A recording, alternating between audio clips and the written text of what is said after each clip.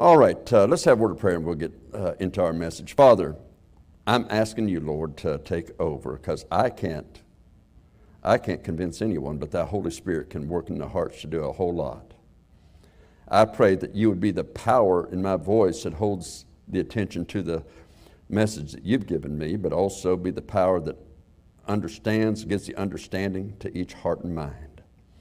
Lord, if there's one in our midst today who does not know, they're not 100% sure if they died today that heaven's their home, I pray that today would be the very day they receive Christ as their Lord and Savior. And we would ask this in that name above every name, the name of Jesus Christ our Lord. Amen. Well, last week I felt led to do the sermon, and really these kind of fall out from the idea we've been looking at the torments of hell uh, with those things in mind. And, and then we've got to believe that people are actually going to hell. You know, that's, that's the problem. A lot of folks just don't believe it. They are, there are people going to a hell. It is a real place.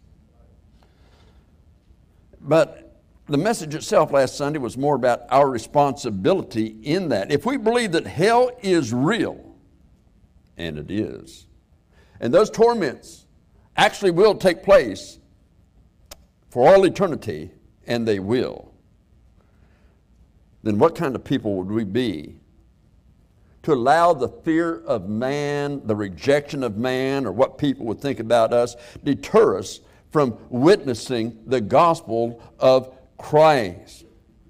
Because that is our commission by God to be witnesses for the Lord and Savior Jesus Christ. And I, I just like what Mrs. Lloyd shared.